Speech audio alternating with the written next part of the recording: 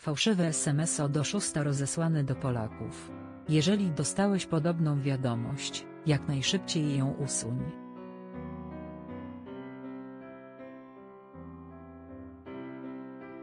Pojawiło się pilne ostrzeżenie skierowane do wielu osób.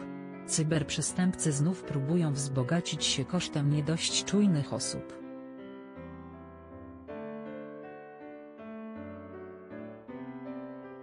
Bycie podejrzliwym jest kluczowe w takich sytuacjach. Podejrzany SMS dotarł do tysięcy, o ile nie milionów osób w całym kraju.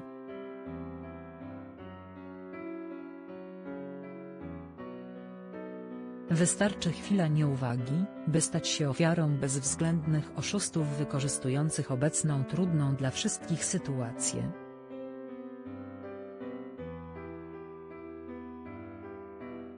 Bardzo ważne informacje 28 kwietnia obiegły media. Należy się z nimi zapoznać, by uchronić siebie oraz bliskich przed utratą pieniędzy.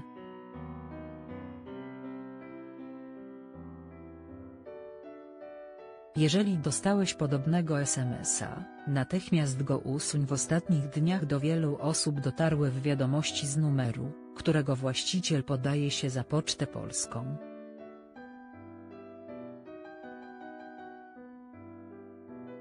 W SMS-ie znajduje się prośba o opłacenie przesyłki, bowiem bez tego paczka trafić ma do 30-dniowej dezynfekcji.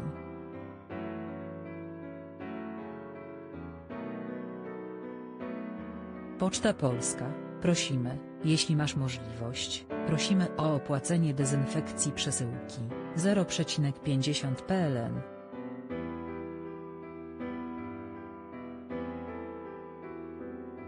Inaczej paczka trafi do dezynfekcji, potrwa to do 30 dni. Za utrudnienia przepraszamy, możemy przeczytać w wiadomości rozesłanej do Polaków.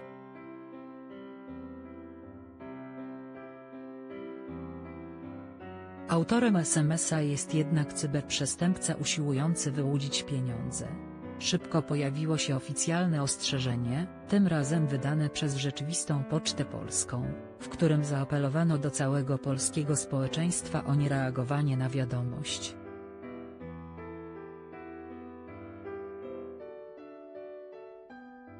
Niestety, w dobie urządzeń elektronicznych oraz internetu z roku na rok pojawia się coraz więcej oszustów czających się na swoje ofiary w sieci.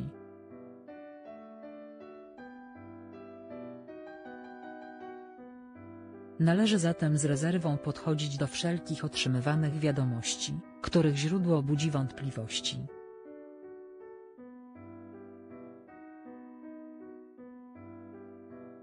Dwa. Uwaga!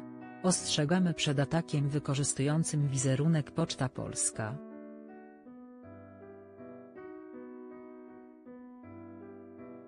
Cyberprzestępcy rozsyłają SMS-y z informacją o dezynfekcji paczki.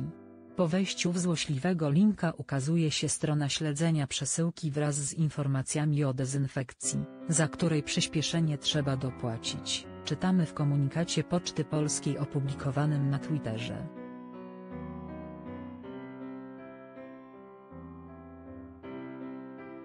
Źródło: Twitter